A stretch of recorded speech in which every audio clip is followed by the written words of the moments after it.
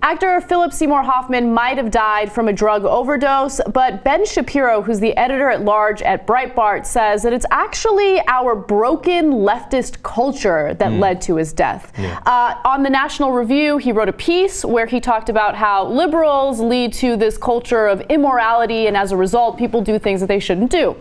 For example, he says libertarianism becomes libertinism without a cultural force pushing back against the penchant for sin.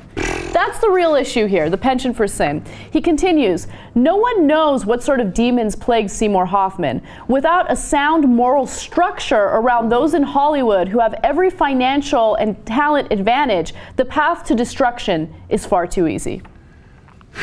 the dirty stuff Ben Shapiro must be doing at home. Okay. Oh, oh, you have to have moral strictures, otherwise you will sin, sin, sin. Uh? I wonder what's going through your head, Ben. Right?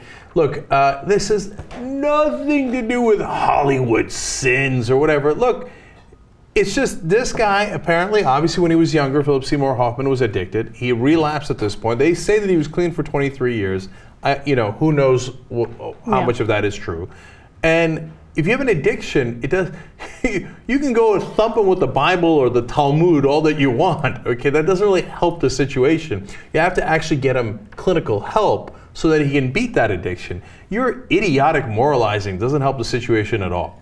Like we're in the media, we're not doing heroin because we're like, oh my, and we're we're even worse. We're agnostics. we're not like, hey Ana, you know what? Yeah.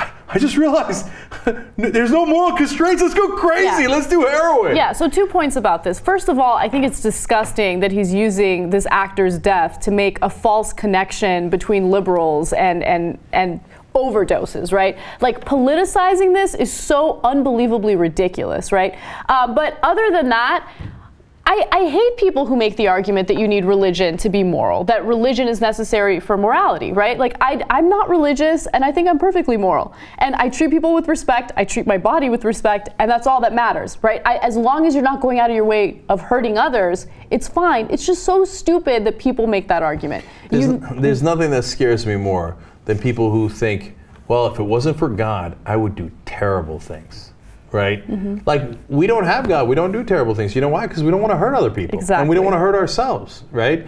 Uh, but apparently, the so-called religious people who claim to be so moral, they think, well, if I didn't have God to spank me in the afterlife, well, then I would do all the fucked up shit that's in my head, right? So Ben, what's in your head? Never mind, I don't want to know. Yeah.